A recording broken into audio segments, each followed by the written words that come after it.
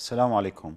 آه، اليوم بدنا نحكي عن اضطراب شائع لدى الأطفال وعادة الأهل ما يعني ما بيدركوه ما بيدركوا إنه هذا اضطراب آه، ويحتاج إلى علاج. هو فرط الحركة ونقص الانتباه. نسبته قد تصل إلى 5% من الأطفال. آه، طبعا تشخيص هذا المرض عادة يتم في سن المدرسة. يعني الطفل قد يكون عنده أعراض سابقة بس إحنا عادة ما نفترض يعني نفترض أنه آه، كثير من الأحيان قد تزول هذه الأعراض. لكن عند دخول الطفل للمدرسة وهناك شكاوي من حركة زائدة اندفاعية آه، يعني الطفل بصير بالصف آه، بيلتهى مع رفقاته يحكي يلعب هون هون ما كثير بيركز على الدرس. كذلك آه، الاضطراب يكون بالمدرسة عادة الأعراض تكون موجودة بالمدرسة وكذلك في المنزل. يعني عادة الأم تشكي أنه الطفل اندفاعي آه، فوضوي آه، ينسى أغراضه أحيانا بالمدرسة شنتايته أقلامه. عادة الأهل بيعانوا معاناة كبيرة بأنه الطفل بتدريسه. يعني الشغلة اللي يحتاج من طفل آخر ربع ساعة يجوز مع الطفل اللي عنده فرط حركة ونقص انتباه قد تحتاج إلى ساعة. لأنه كل شيء بشتت انتباهه.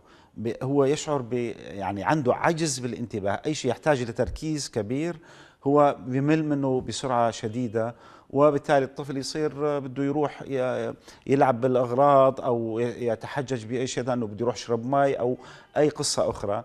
فإذا الأهل شافوا إنه آه، أحد أطفالهم إنه آه، عنده هاي الاندفاعية الحركة الزايدة عنده نقص يعني بالتركيز هناك صعوبة بتدريسه رغم أنه قد يكون الطفل دائما نتائج يعني قد يكون ذكي لكن نتائجه أقل من إمكانياته. دائما الأهل بيعبروا كل يا دكتور هو ذكي بس ما بيحب يركز. يفترضوا أنه هذا خيار من الطفل. هو عادة الطفل ما بيعرف شو عم يصير معه وبالتالي الطفل يتعرض للأسف للتعنيف من الأهل ومن المدرسين دون إدراك أنه هذا الطفل لديه مشكلة وبحاجة لمساعدة.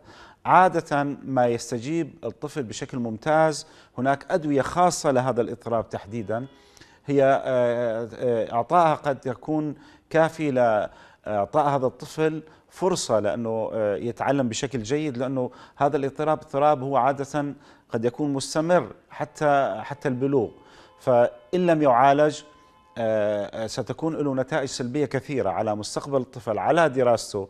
وهناك البعض آه، نتيجة هذا آه، الشعور بالإحباط آه، عدم إدراك شو عم يصير معه عدم إدراك الأهل للمدرسين للمشكلة.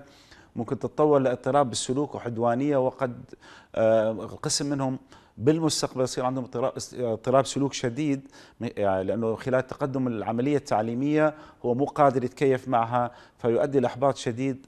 قد يترتب عليه مشاكل كبيرة عند الطفل فبالتالي أنصح بالتوجه مباشرة وكل ما كان اللجوء للطبيب أبكر كل ما كانت نتائج أفضل.